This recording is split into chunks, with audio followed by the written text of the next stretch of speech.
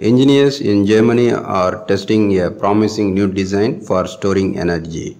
This project is named StEnSEA, that is Stored Energy in the Sea. It involves installation of large storage facilities on the sea floor in combination with offshore wind farms. The operation principle is similar to that of conventional pumped storage power plants, but based uh, not on two reservoirs but a hollow sphere. The inflowing water drives a turbine to generate electricity. When there is a surplus of electricity in the grid, part or all of the water is pumped out of the sphere. The commercial target size per sphere is currently at about uh, 20 megawatt hour per storage unit. Larger storage capacity can be reached when multiple spheres are connected to a so-called energy park.